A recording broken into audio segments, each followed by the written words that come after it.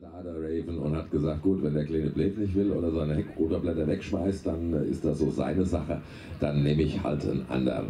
Der Raven Dreier, der ist auch schon viele, viele Jahre dabei. Den kannte ich schon, da war er noch halb so groß und da ist er hier schon geflogen. Mittlerweile Raven, wie alt ist er? 15 jetzt oder so? 14? Ja, so in dem Dreh, weiß er selber nicht ganz genau, ist auch in dem Fall jetzt egal. Sind wir dann bei einem Gesamtrotorkreis von etwa 85 cm.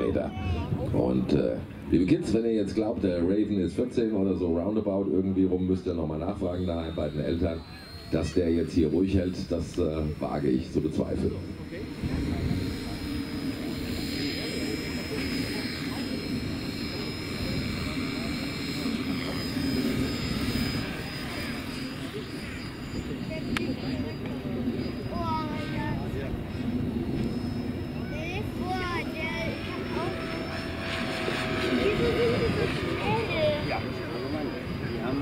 Also für mich wäre das Modell nichts. Ich wüsste jetzt, ich sehe noch nur einen Pixel, wenn er da hinten rausfliegt bei der Modellgröße, aber der Raven hat natürlich gute Augen.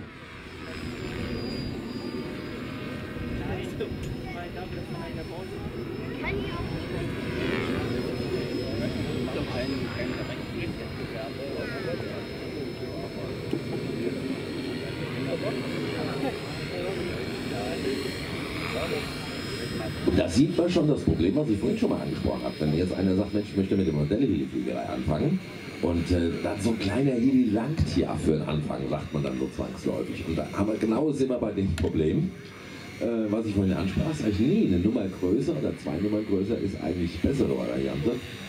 Denn äh, zumindest äh, sind die etwas größeren Modelle natürlich schwerer, das heißt also, sie haben eine höhere Eigenstabilität und deswegen allein da schon, darum schon einfacher zu steuern. Guck mal, der ist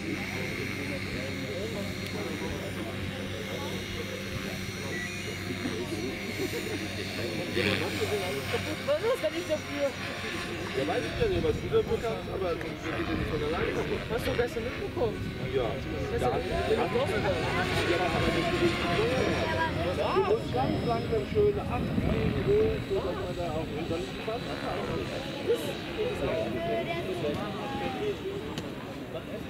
Oh, jetzt ist er weg, Raven.